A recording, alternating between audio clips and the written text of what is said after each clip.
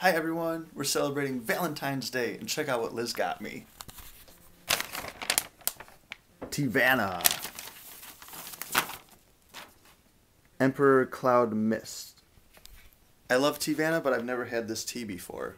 I'm really excited to drink it. Are you having trouble with that? Yeah, too many wicks. Liz is lighting the candle that I got her. Do you know why it has three? No. Show your your other thing, cause I didn't get on video. What else? The other thing I got you. I almost forgot the most important part of Valentine's Day, the chocolate. this is the other thing she got, and she got that, and she got me this. Oh, and some pictures. If you can tell me what this picture's from, then you win nothing. You just have the satisfaction or the satisfaction of knowing that you knew it. Does that make sense? What's that picture from?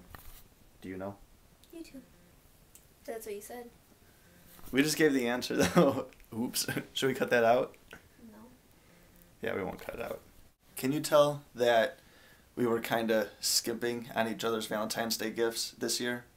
Well, I guess you don't know any other years, but we always used to get each other a lot of stuff.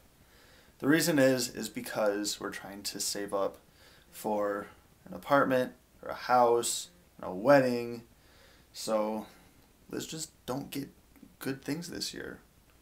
Like for Christmas, she got the painting and Bones season 5 on I like a DVD. Well, yeah, they're good gifts. but this year, bought that girl, or not this year, last year, this HD TV, Bones Season 4. What else? There was something else. Is that the coat too? Oh, yeah, and a, a wool jacket because it's freezing in the winter. So, no more $400 gifts, Liz. I'm sorry. okay, that's all. Happy Valentine's Day. Bye. Say happy Valentine's Day too. Happy Valentine's Day too. Bye.